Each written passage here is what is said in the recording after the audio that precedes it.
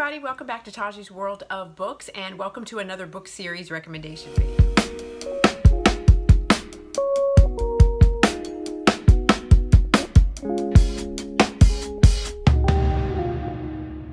Hey guys, welcome back. So today I am going to be talking about a new author. Uh, she's new to me and I think she's also a fairly new independent mafia romance author as well and that is Maggie Cole. I'm going to be talking about her Mafia Wars series. There are 10 books in the series, and as a result, since there are 10 books, and I'm going to be talking about all 10 because I read them all and they were amazing. They were so, so good. What I'm going to do is just give you a brief synopsis of each book, and of course, because because it like all culminates at the end into like the story is completely wrapped up i don't want to spoil anything for you guys if you haven't read it so with that i'm just going to give you a brief synopsis so let's start off by talking about the Mafia Wars. Really, the first four books or five books, and I'll let you know when that you know when that mark comes. The first four books are about the Ivanov family. Then the last books are about the O'Malley family. So you can see there's the Russian. So in this world, there is the Russian involvement, there's the Italians, there are the Irish, and it really is about these families sort of coming together and culminating in this really decade long, you know, war that is going on amongst these families. But the children of these, you know, the like the fathers, the heads, they have overlapped and some are friends and some are intermarrying. And so there's an ongoing plot and an ongoing storyline that threads through each of the books. Um, but each book ends in an HEA or a happy for now type story, as well as the fact that I think Maggie did a really great job. Like when you start off with the first book, which is Ruthless Stranger, and you think there are these like secondary characters that are not really important, pay attention to those characters because by the time you get to book 10, those secondary characters are really relevant and make you know sort of like all get wrapped up. So when we talk about a tapestry or weaving a really great story she had to know when she sat down and wrote this where she wanted this story to go and what she wanted this outcome to be. And she worked you there through each of the books. And so things that you think are irrelevant and don't make sense later on in the 10th book you're like ah now I totally get it. So without further ado, let's get into it. The first book in the series is Ruthless Stranger, and I have my notes here, so I'm going to be looking down. This is Ruthless Stranger. This is about Maxime, who is an Ivanov, and Aspen. And Maxime meets Aspen in Las Vegas. They both have had previous relationships, and those previous relationships, Aspen was married for 20 years, and her husband or ex-husband she's going through a divorce and they take her to Vegas as a like you know a coming out like you've gotten rid of him and now you need to sow your wild oats because you've never done that because you settled down with him very early on in life like she got married at like 20 or something. And he was like you know a trust fund baby and just an all-around jerk like just a terrible guy Maxime has never been married, but he's with, been with the same woman for a very long time, and she basically jerks him along and strings him along, and she's just not a good person, and he really is kind of sick of her antics and sick of her games, and so they he goes to Vegas because it is his brother's bachelor party or whatever, and so they go there to celebrate. Maxime is there he hears, you know, Aspen's girlfriend saying like, you need to just have a one night stand. If you did have a one night stand, what would that look like? And she's like, I would be blindfolded. There would be rules like, and you know, like we wouldn't violate those rules. I wouldn't know him etc etc and maxime is like i'm going to fulfill every one of your desires whims and dreams. And that's where the story starts from there. It is a really good introduction into this world. You meet maxime and his his brothers. You meet you know the o'malley clan because they are the ivanovs are very good friends with the o'malleys. You also see the ivanovs rival which is the petrov family. And so like it's a very intro it's a very good introduction into this chicago world and how things sort of evolve. Um, and it's a really great story. I gave this one a four out of five star. The next book in the series is broken fighter and this is boris and nora and the trope in this is a my brother's my brother's best friend so Boris is best friends with, it's like a forbidden romance type situation. And there is an overlap between the, it's a forbidden romance in that it's an Irish and a Russian love. And in the O'Malley clan, the O'Malleys are like, we need to preserve the bloodline. You can only marry another Irishman. And Nora is Irish and she her brother is best friends with Boris and Boris is an Ivanov he's brother to Maxime and so he they have to hide their relationship and how that sort of works itself out and what happens as a result and again you're meeting all the cast of characters you're seeing everybody from ruthless stranger and throughout all of the books you get to know everybody so well because you see repeatedly all of these characters throughout all of the books and I love when a writer does that because you really get to immerse yourself so much in this world. So like I said, this is my brother's best friend. It's a forbidden romance. It's really steamy. It's really spicy. I gave this four stars. It's a great, it, it really works itself out. There's a surprise situation that happens and you're just there every minute of it. The next book in the series is Cruel Enforcer and this is Cora and Sergei's story and Cora and Sergei, we've met Cora because Cora is friends with Aspen, so we meet her in Ruthless Strangers. And these are two really dominant personalities. Sergei is the brother of Maxime. There is a BDSM element here where it's used to kind of heal and to push boundaries because Cora has some stuff that's going on and she is very dominant in her personality and she's become that way because she had to be.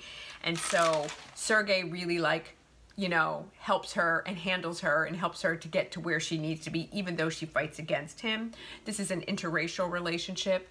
There's also some conversation about family and how family can either help you or family can break you. There's a lot of insecurities that need to be worked out in this situation as well. This is also um, an older woman and a younger man, so that is a unique trope that we don't often see. I really enjoyed this story. I really enjoyed these two characters together. They're steamy, spicy, sexy, for sure. I gave this a four out of five star. Really good.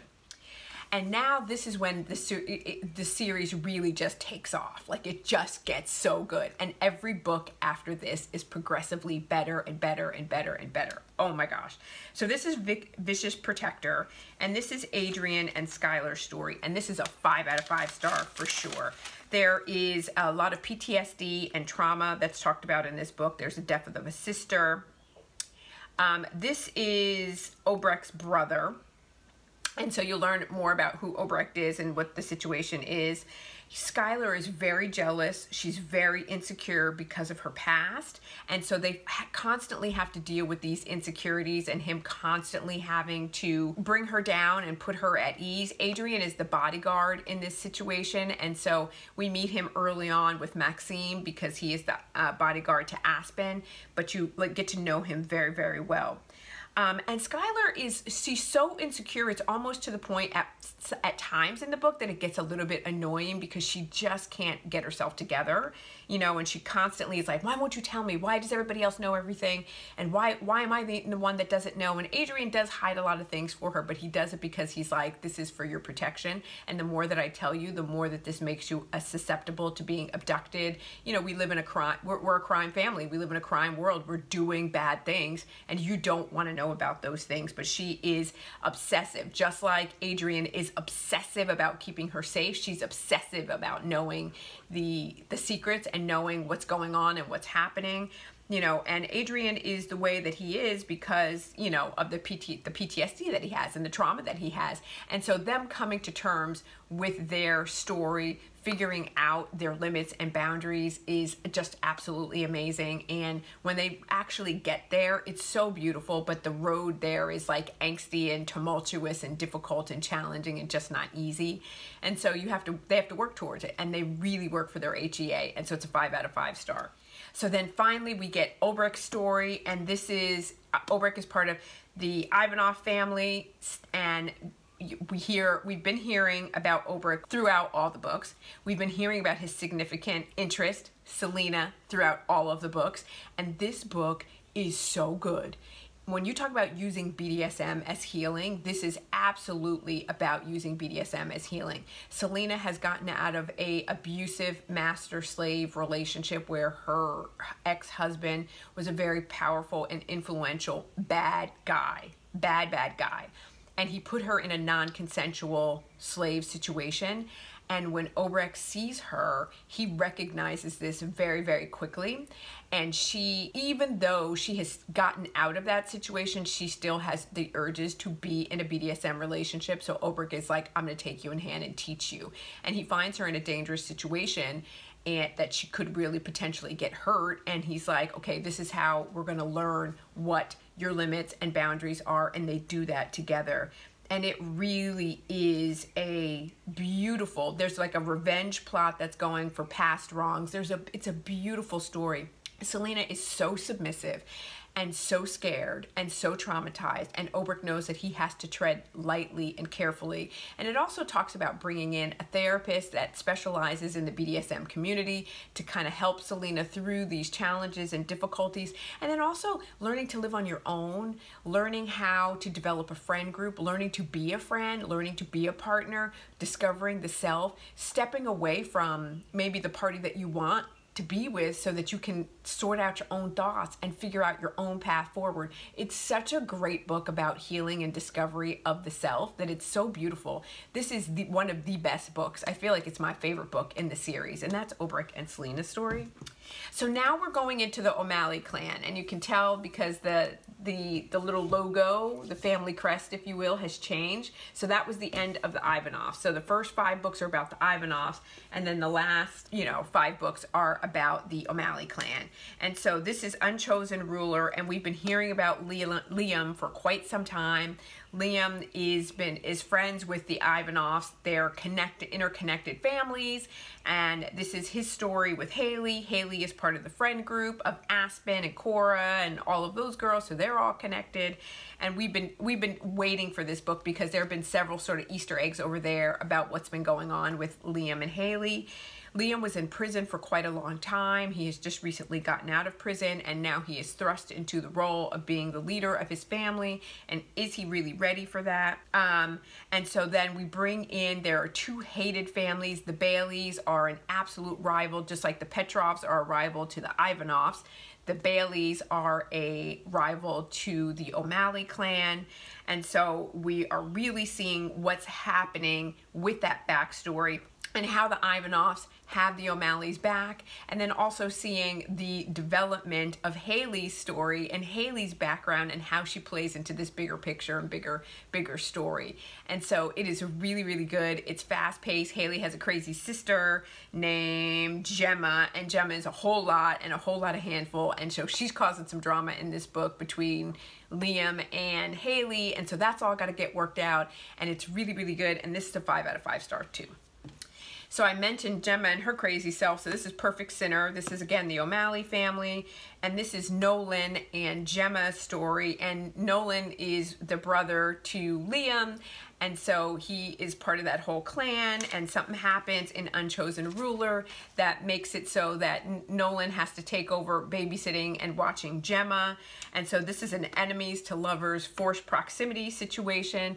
There's some eh, trigger warnings for suicidal thoughts and eh, what one does when you are so feeling hopeless and depressed and don't know how to overcome all of the situations that you find yourself in this is, there's a lot of jealousy in this book. There is a lot of her actions and her behaviors get her into trouble. She's so hot-headed and she does so many things that she like is like cocksure. Like she just goes in guns blazing. She doesn't necessarily think through what she's doing and then she's got to like either make amends, she's got to figure out a way to get out of it, or she puts herself in harm's way because she is just so like hot-headed and is so independent and I'm going to do what I want to do. But her life and livelihood has been taken away from her because of this old rivalry that's coming into play that's trying to manipulate her, that's trying to control her and trying to use her as a weapon against the O'Malleys and whether or not Gemma is going to allow herself to be used in that way. This is a really great story. It's a five out of five star. Then the next is Brutal Defender, and this is Killian's story with Ariana. And as a result of some things that have happened, this is a forced arranged marriage, and it's an alliance between the New York Italian Mafia and the Irish Chicago Mafia. And this, in the beginning, this is an enemies to lovers situation for sure. It is just wrought with banter and antics and you know lots of angst and lots of fighting and lots of rebelling against the system but at the same time trying to figure each other out trying to understand each other trying to figure out how to make it work when you're being put into this situation and whether they are going to be able to learn to trust one another and make it work for the sake of themselves as well as their families and how does that become a thing. Like what, what happens as a result of that. So good. Five out of five star. The next book in the series is Deviant Hacker and this is Declan's story with Simona. So it's Declan and Simona, and this is a captor-captive situation, and he abducts her because he believes that this has been their arch enemy that has sought to destroy their family and done a number of things to prevent them and cause them to lose billions and billions of dollars. And so this is using BDSM and all kinds of torture techniques to get her to confess to the crimes that she has committed. And this story is steamy and spicy, and I absolutely love Daddy Declan. This is some Daddy Kink. I love it. It's so good. This is one of the best books in the series. So, so good. And then the last book in the series is Relentless Hunt Hunter. And this is where every book then wraps up and you get the entire story told again, but from Finn's perspective. And you've been hearing about Finn and Brina for quite some time, and Finn is the older generation, and so he was the older of the crew before all of these other characters. They were all younger than him, but Finn got sent to prison, and Finn was in prison for the better part of 15 years. And you get to understand how that happened, why it happened and what happens as a result and all those old enemies and rivals all sort of culminate together in one total package and one total picture. And so we've got some time jumps. It starts 21 years earlier and you're working your way through systematically to present day and what happens as a result and then going forward as well where they are you know 5 10 15 years out all of the characters. It's wrapping up. It's conclusions. It's understanding accidents and mistakes and everything that should have come. And it is, this is, uh, th these two, Finn and Brina, are not together for most of the book, but they're not together because of stupid stupidity and poor plot choices. They're not together because they are being forced apart because it's almost like the universe is working against them. And there's so much love there and so much longing and so much fortitude and not giving up that it's like they if any other couple deserves their HEA this couple does because nothing that they did caused them to be apart other than the circumstances of their birth and the circumstances of their situation.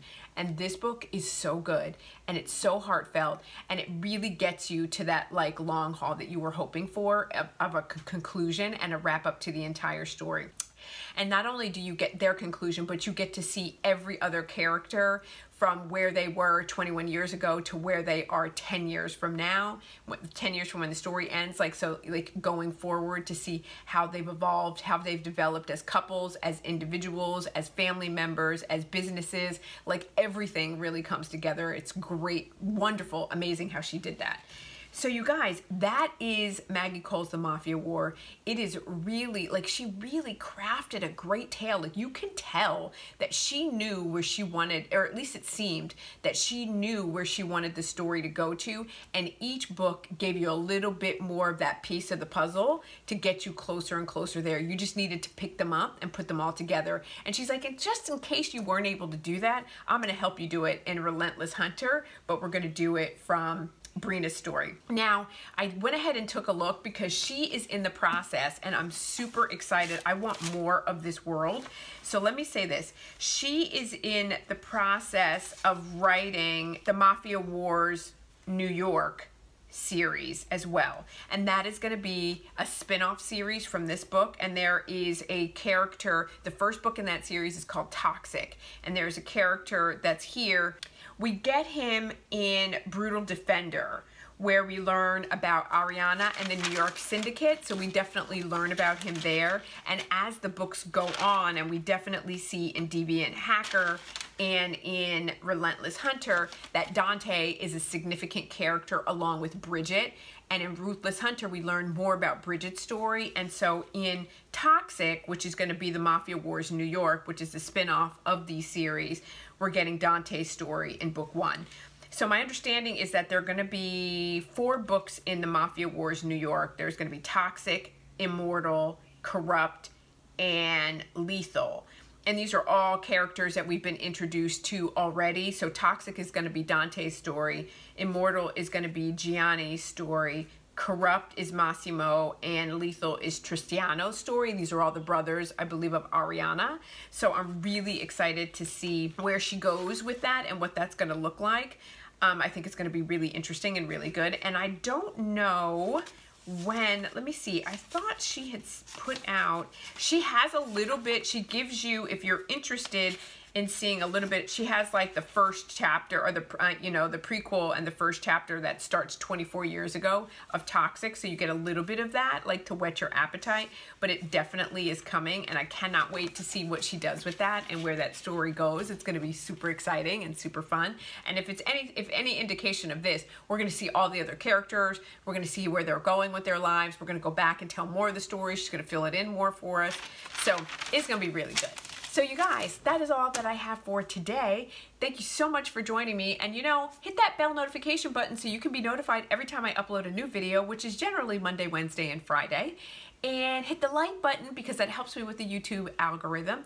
And that's all that I have for today. And I will be back soon with more videos. We'll talk to you soon.